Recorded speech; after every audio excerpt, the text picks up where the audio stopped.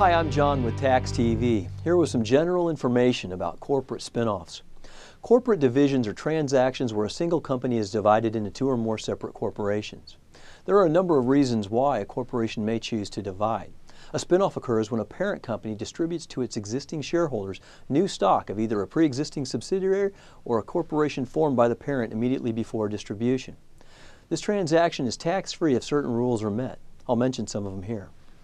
First, the parent and subsidiary must both be engaged in an active trade or business for all five years preceding the spinoff, and neither may have been acquired in a taxable transaction during that time.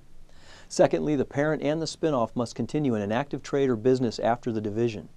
Next, the parent company must have ownership in at least 80% of the spinoff's voting power and 80% of each class of outstanding non-voting stock of the spinoff. Also, the parent must distribute either all of the spinoff stock or enough to relinquish control.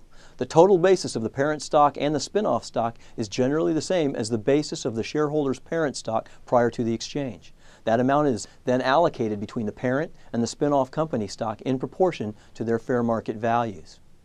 Finally, there must be a valid business reason for the spinoff and not for distributing earnings and profits.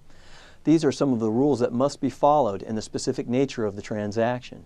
If the spinoff doesn't qualify for tax-free treatment, shareholders would recognize ordinary income equal to the fair market value of the spinoff stock, and the parent would recognize capital gain on the sale of the spinoff stock. In addition to the rules of the Internal Revenue Code, individual states and the Securities and Exchange Commission may have additional requirements for spinoffs. For more information about spinoffs and other corporate transactions, take a spin through taxtv.com.